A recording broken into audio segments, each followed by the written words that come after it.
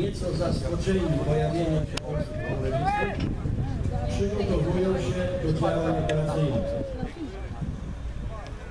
Piechota pruska rozwija szyki, pruska jazda gdzieś tam w przygotowuje się do ewentualnego rozparcia działań naszej jazdy.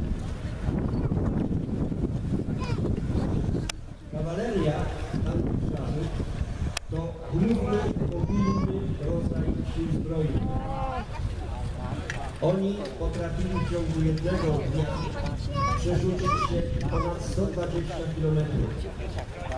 Oni potrafili działać niezmiernie szybko i zaskakiwać przeciwnika z wszystkich tych kierunków, które w danym momencie najwygodniejsze dla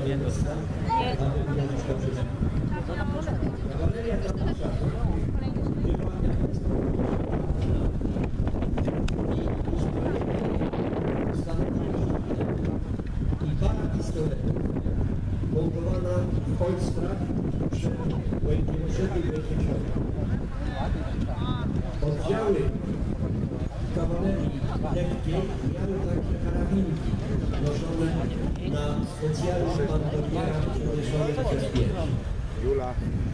Jazda mogła atakować bronią białą, mogła atakować ogniem karabinowym, mogła atakować również systemem tak zwanego parabolu, czyli strzałami z na zasadzie piechoty.